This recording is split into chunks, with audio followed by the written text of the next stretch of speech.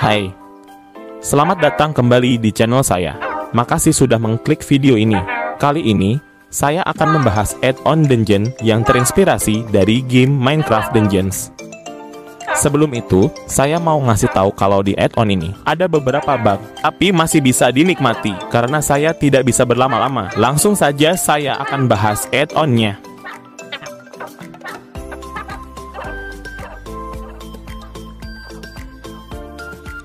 Sedikit info tambahan, add-on ini kadang bikin ngelak bahkan sampai force close. Tergantung perangkat yang kalian pakai sih, dan saya mengganti suara voice AI, dikarenakan voice AI yang sebelumnya sudah mencapai batas.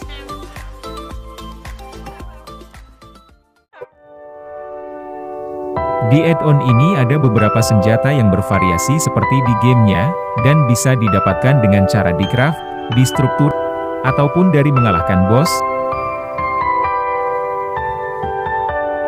Senjata-senjata ini juga memiliki tampilan 3D untuk semua senjata.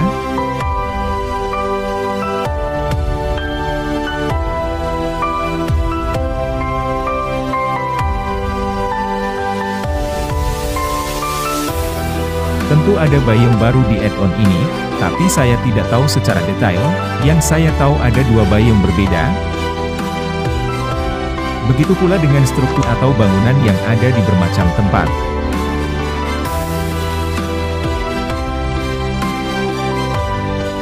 Bayam jungle diubah dan tentu ada ciri khas mob yang tinggal di bayam mereka sendiri.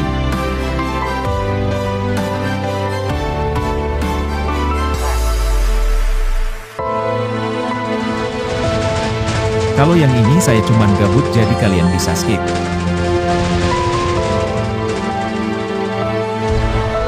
Tentunya add-on ini juga ada cukup banyak item yang memiliki ability, walaupun saya tidak tahu secara detail semua ability-nya. Dan tentu saja terdapat token dengan ability yang keren juga, tapi saya tidak bisa nunjukin semuanya,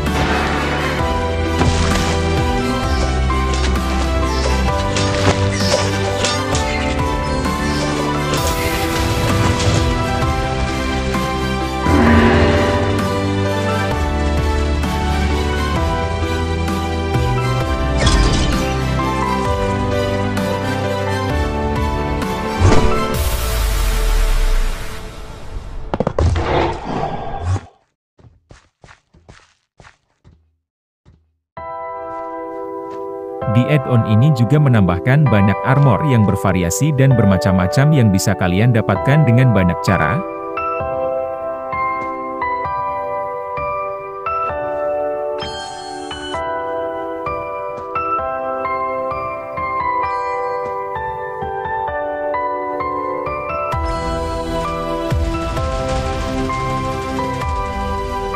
Perlu kalian tahu juga kalau setiap armor mempunyai tingkatan yang berbeda mulai dari common, rare, unique, dan event.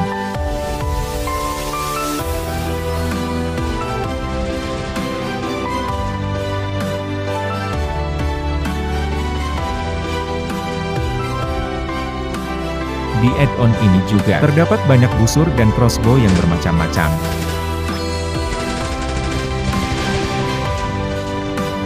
Namun kekurangannya adalah animasi yang terlihat biasa aja,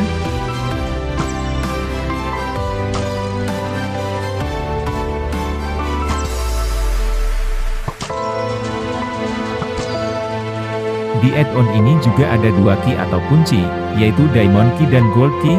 Sejujurnya saya tidak tahu detail kegunaannya, tapi mungkin berguna.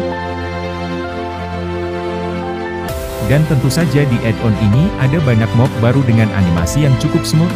Dengan banyak mob ini petualangan kalian akan jadi lebih menantang ataupun ramai.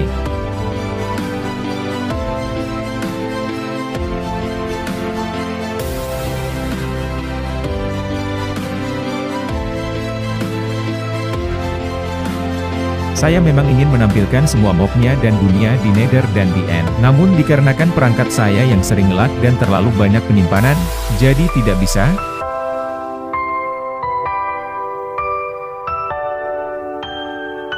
Oke, itu saja yang bisa saya bahas kali ini, link add-on ada di deskripsi dan saya harap kalian terhibur.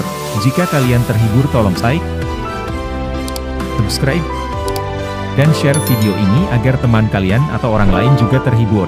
Sekian saya pamit dulu, sampai jumpa di video berikutnya dan sehat-sehat selalu ya.